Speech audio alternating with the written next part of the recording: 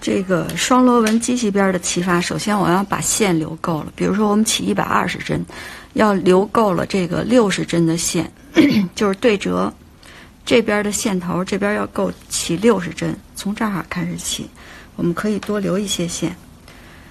这个机器边怎么起呢？右手拿线，左手拿针，先从这儿掏绕一下，这就一针。完了以后呢，这个大拇指线不在上头吗？这个时候呢，我们从这个左边这个线底掏大拇指这边一针，再从这边线底掏这根线一针，就这样，一边一针一边一针这么掏。这种起针方法最后一定要起双数针，这样起快了，实际上针不动手动，就是这样的。如果你要是慢着起，你就可以看。这样拿针动去掏这线也行，刚开始的你就可以这么掏，这么掏。你要时间长了，你就可以针不动，拿手这么绕着线，这么绕。这样一共起一百二十针。我这个这种起针方法一定要一气呵成，而且不能注意不要让它拧了。我们针数起够以后，一定要看这最后这个线头是这样压着。这个时候呢，我们是 隔一针织一针，第一针不织挑下是上针，第二针下针织，这样上针挑下织下针，这就叫织空心针。这么织，织过去一行，翻回来织一行，一共织四行。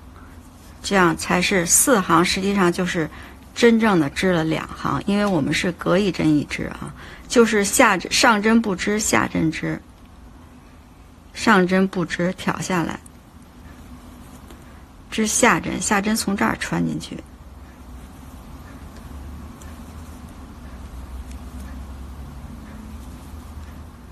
这样织的过程当中，一定要注意这儿不要让它拧了啊，拧了以后那个边儿就不齐了。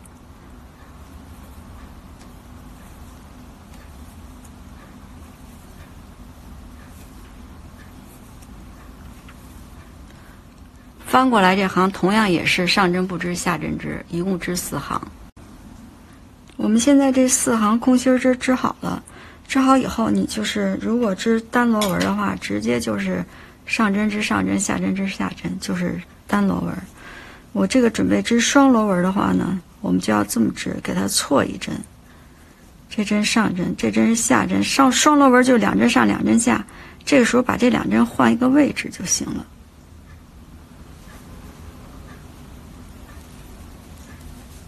这样就变成双螺纹了。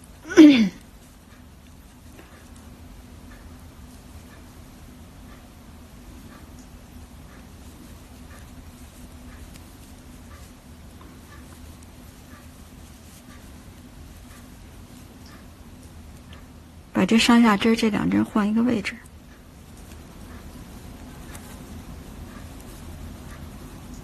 这就是双螺纹。大家看，现在这个双螺纹的这个机器边就起好了，就是这个效果。